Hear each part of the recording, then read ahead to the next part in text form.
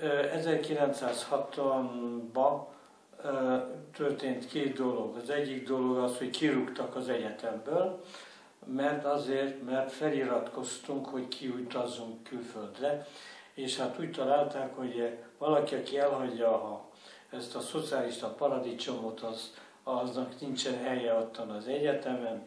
De történt egy csoda is.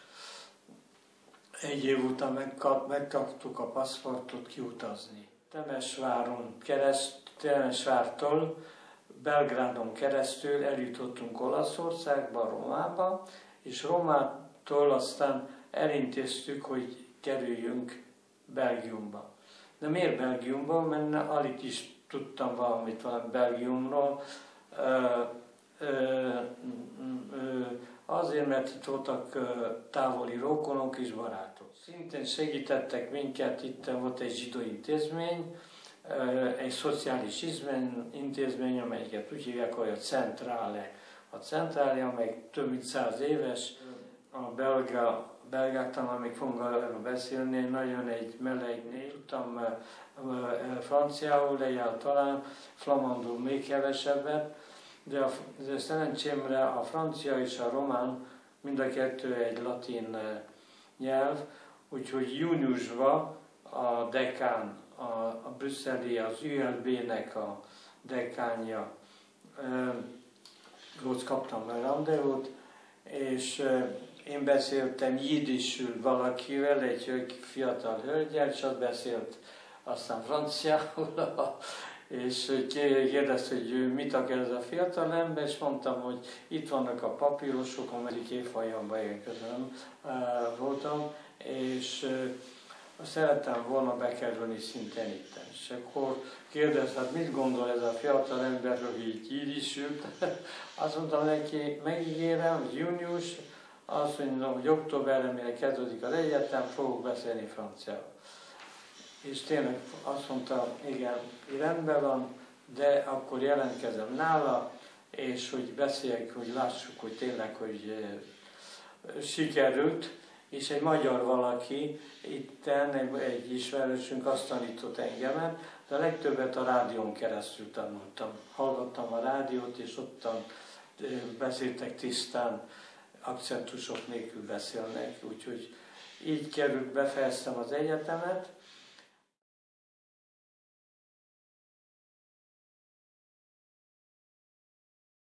én nekem Belgium, vagy kezdjem Belgium adta nekem egy a szabadságot. Adott egy gyönyörű feleséget, aki már most már 60 éve, hogy együtt vagyunk. Együtt vagyunk. Adott egy gyönyörű családot, tíz unoka, és, és sok-sok-sok több dédunokát.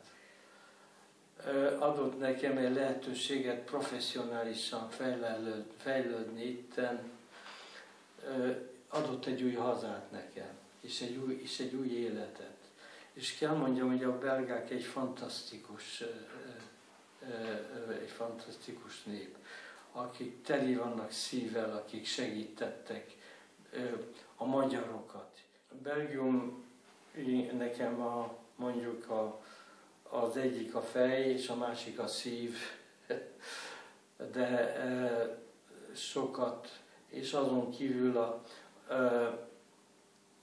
zsidó létemre itt mentettek meg a legtöbbet, az Európából itt mentettek meg a legtöbb zsidókat, és a feleségem, ő is itt lett, így menekült meg, el lett bújtva itt egy, egy flamand családba, akik úgy vették őt, mint a saját gyereküket.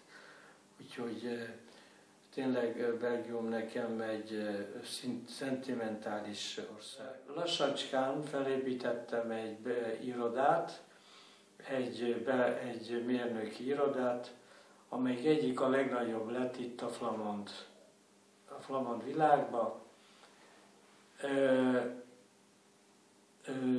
Nagyon büszke vagyok erre a periódusra, mert egy a legnagyobb munkálatjaimmal tudok dicsékedni a repülőtért, amit látnak, a két utolsó terminált, azt az én irodám tervezte.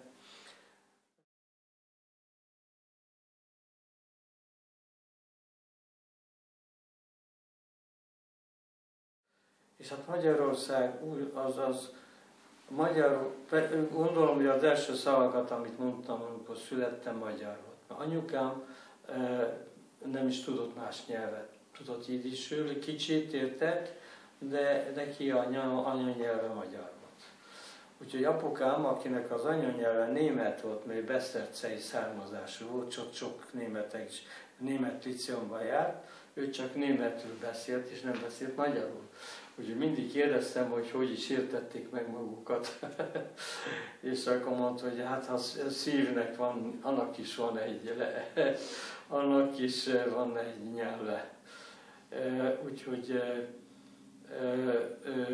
magyarul olvastam, magyarul a, a kultúrát, a, a kultúra nekem, magyar kultúra, az összes Karl May, Vinettu könyveket ottan olvastam.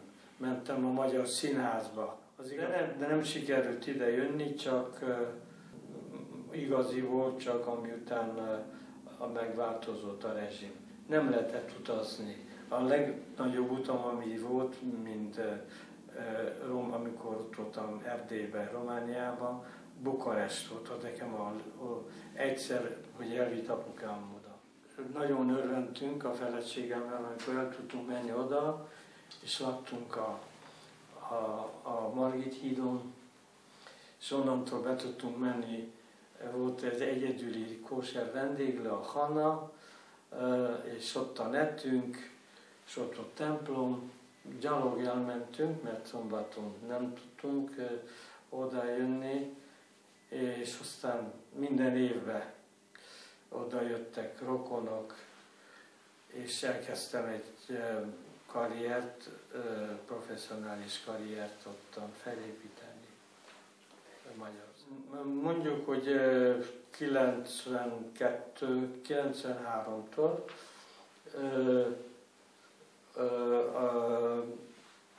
minden második hetet ott voltam. De az az volt, hogy elindultam mindentől repülővel vasárnap, vagy hétfőn, és visszajöttem csütörtökön mindig, úgyhogy itt, tudtam lenni mindig szombaton. Már sokat, akkor sokszor jött a feleségem is Budapestre, főleg, hogy kibéreltük a 11-es páholyt a, hogy is mondják, ma, a operába, és az ottan van a császári, hogy is mondják, mellett.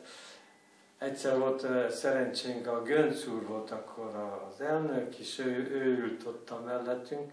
Köszönöm, hogy lehetek, én is visszahetek ebbe a száz éves belga-magyar, magyar-belga együttműködésnek, hogy lehetek én is egy kicsi része ennek, és gratulálok Önöknek a, a munkájára, amit csináltak.